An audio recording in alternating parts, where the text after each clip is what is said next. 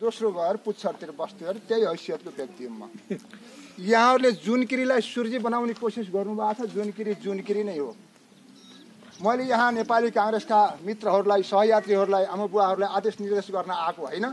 तथापि अनुनय विनय गर्न भने पक्कै आएको मेरालाई मात्रै नभएर अरू विभिन्न अन्य पार्टीका मित्रहरूलाई पनि म अनुनय विनय गर्नको लागि र भिक्षा माग्नको लागि म प्रतिनिधिको रूपमा गाउँपालिकाले पठाएको कारणले म आएको त्यो हैसियत पनि मसित छ। किनकि हिजो जनआन्दोलनको कमान्डर यहाँहरूले बनाउनु भएको हो। सहयात्री सात वामसित बसेर मैले सङ्गठन गरेको हुँ। विजय पनि बहु बहुदल पनि आयो।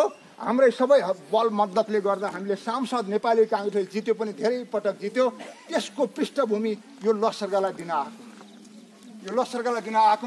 मैले रामायणको त्रेताजुगको एउटा स्मरण सम्झना गर्छु। लङ्का रामले जित्ने छन्। पुल नल र निलले बनाउने छन्। समुद्र हनुमानले नाग्ने छन्। तर जाम्बवानको ठुलो भूमिका छ। म जाम्बवानको भूमिका गर्नलाई यहाँ आएको। जाम्बवानको भूमिका गर्नको लागि। जब रामले औँठी दिएर सीता खोज्नलाई पठाउनु भयो हनुमानलाई दिएको पहिल्यै पटक हो जब समुद्रमा पुगेपछि सबैले आफ्नो बलको लेखाजोखा गरे। लेखाजोखा गर्दा गर्दा गर्दा गर्दा कहिले माझा बिनामा पुग्छु भने कहिले दस कोष पर चार कोष पर जान्छु भने कहिले केही परसम्म जान्छु भने अङ्गदले म लङ्का पुग्न सक्छु फर्कने मेरो ग्यारेन्टी छैन। भनेर जब अङ्गदले भनिसकेपछि जाम्बवानले हनुमानलाई भन्छन्। जाम्बवानले हनुमानलाई भन्छन् तिमीले जन्मदा त सूर्य निलेर आएका हौ नि। यो चार सय कोषमा किनेर आएछौ हनुमान? भनेर जब जाम्बवानले भनेपछि बल्ल हनुमान गर्जेर लङ्कामा पुगेर सीताजीलाई भेटेर सम्पूर्ण कुरा लिएर श्रीरामलाई जानकारी दियो। त्यही भूमिका निर्वाह गर्नको लागि म हुँ। प- नेपालमा प्रजातन्त्र आउनुभन्दा पहिल्यै प्रजातन्त्र लिएर आएर देखाइदिने ठाउँमा भूमिमा म टेक्न आएको छु। देशमा प्रजातन्त्र आउनुभन्दा पहिल्यै प्रजातन्त्र ल्याएर प्रधान उप प्रधान जिताएर विजय गराउने ठाउँमा म आएको छु त्यसो भएर मलाई साह्रै ठुलो गौरव लागेको छ। ती म अनुहार पनि अहिले देख्न पाएको छैन है मैले। त्यति बेला पनि हामीले साबीको बिर्गाले थोरै मतले हारेको। अहिले पनि त्यही हैसियत लिएर लाचार हुँदै लाचार हुँदै हजुरहरूले विजय विजय गरेकोमा धन्यवाद दिँदै र हामीले पराजय लिएकोमा थोरै लाचार हुँदै यहाँहरूसित शर्म लाग्दै आएको छ। तर त्यो शक्ति भनेको यही आलमदेवी हो। यहाँ प्रजातन्त्र नआउँदै जितेको ठाउँ हो। त्यो ठाउँमा आएँ। यहाँ आएपछि अर्को कुरा पौ- पलायो है। यो भूमिमा टेक्ने मेरो गौरवको कुरा हो। पार्टीले मलाई त्यति ठुलो अवसर दियो। भने खुसी हुँदै आउँदा आउँदा आउँदा यहाँ त मन्दिर झन् राम्रो झन् गौरव। म यहाँ खोलामा गङ्गाको तिरमा यहाँहरू सबैलाई दुःख दिएर बोलाउने गर्छु। यो मन्दिरमा पनि एउटा ब्रह्मसत्र गर्ने ब्रह्मचिन्तन गर्ने दिन कहिले आउला सबै बसेर भन्ने मेरो दोस्रो चिन्तन आएको छ। परमात्माले त्यो दिन पनि अवश्य पुरा गर्नेछ पुरा गर्नेछ भन्नुहोला प्रश्न आउला यहाँ यति सानो गाउँले यति सानो वडाले कसरी विजय गर्ला? कसरी विजय गर्ला? सानाले नै ठुलो काम गर्छ। म सानो दृष्टान्तसित यहाँहरूलाई बोध गर्न चाहेँ। एउटा टिटिहरी भन्ने एउटा चरो थियो। त्यसले गङ्गाको किनारमा फुल पारेको रहेछ। साउनको महिनामा समुद्र ठुलो बाढी आएर त्यो फुललाई बगाइदिएपछि त्यो साह्रै दुःखी र पीडित भएर के सोचेछ भने बालुवा ल्याएर यो समुद्रलाई सुकाइदिन्छु भनेर चुच्चामा बालुवा ल्याएर समुद्र सुकाउने कोसिस गर्यो समुद्र सुकाउने जब कोसिस गरेको थियो सम्पूर्ण पशु पन्छीहरू आएर उसलाई सम्झाइ बुझाइ गरे यति ठुलो अभिमान नगर बाबु तैँले समुद्र सोसाउन सक्दैनस्। यो अभिमान नगर भनेपछि त्यो टिटीहरूले के भन्छ? मेरो अभिमान होइन। मेरो स्वाभिमान हो मेरा बच्चा बचाउने मेरो स्वाभिमान हो मेरो कति अभिमान पनि होइन।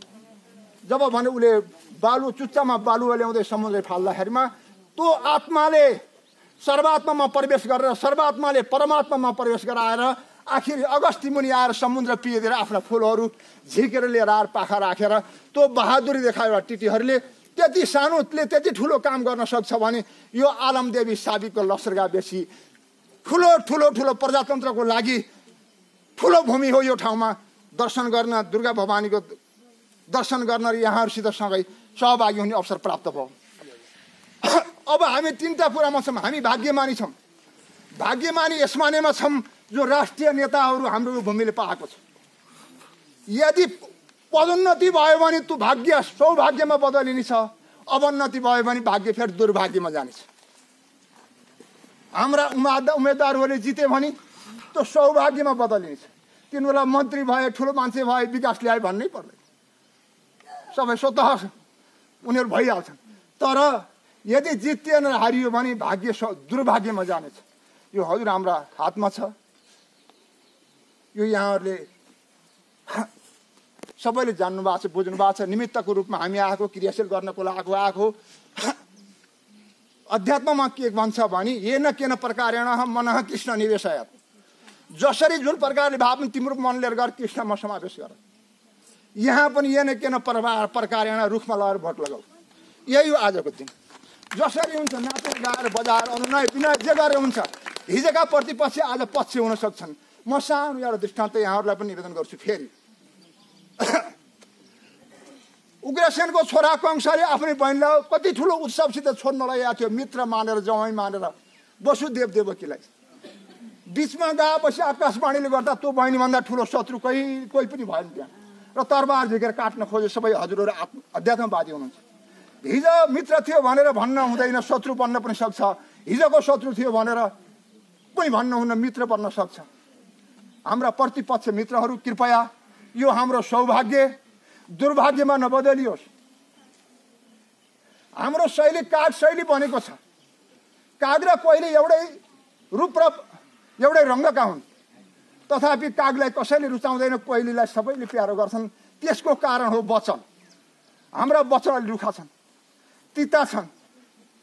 हामीले अलिक नम्रता ल्याउन सकिएको छैन। नम्रता ल्याउन सकिएको छैन। हामी कोइली शैलीमा प्रवेश गर्नुपर्छ समाजमा साथीभाइमा सङ्गठनमा प्रवेश गर्नुपर्छ कोइली शैलीबाट। मिठो बनेर जानुपर्छ। सबभन्दा ठुलो वचन हो वचनले सबैलाई ल्याउन सकिन्छ। वचनले पुरस्कार लिन पनि सकिन्छ दण्ड पाउन पनि सकिन्छ फाँसी जान पनि सकिन्छ।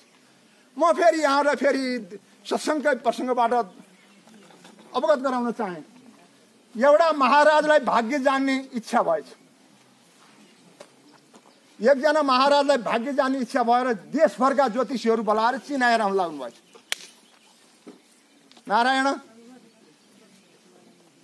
मैले सबैका नजरमा हेरिएको छु हजुरहरूलाई। तपाईँहरू बिचमा नबोलिदिनु भयो भने मेरो कुरो व्यर्थ जानेछ। भीम सरका नजरमा पर्यो। रा, राजा महाराजलाई ज्योतिषी हेराउने भाग्य हेर्ने इच्छा भएछ। र देशभरका ज्योतिषीहरू बोलाएर उहाँले चिना हेराउन लाग्नु भएछ। चिना हेराउँदाखेरिमा सबभन्दा ठुलो मान्छे ठुलो ज्योतिषी धेरै पढेकालाई हेराउनु पर्यो पहिलापटक। हेराउँदा ओहो महाराज। हजुरका त जम्मै जहान परिवार सर्वनाश हुने भएन। भनिदिएछ राजालाई साह्रै रिस उठ्यो यसलाई लर फाँसी देऊ। भने फाँसी दिन पठायो। फाँसीको सुलीमा चढेर राजाको चिना हेर्दा भाग्य जान्न खोज्दा दोस्रोलाई हेर आयो फेरि। ओहो महाराज हजुरका सन्ततिमा राजा राज्य पाउने त लेखा छैन नि तपाईँका सन्तानमा राज्य पाउने लेखा त छैन नि भनेर दोष राज ज्योतिषीले भनिदियो यसलाई लड थुनिदियो ऊ अर्को थुन्नामा पऱ्यो आजीवन कारावासमा भयो। तेस्रोले हेऱ्यो।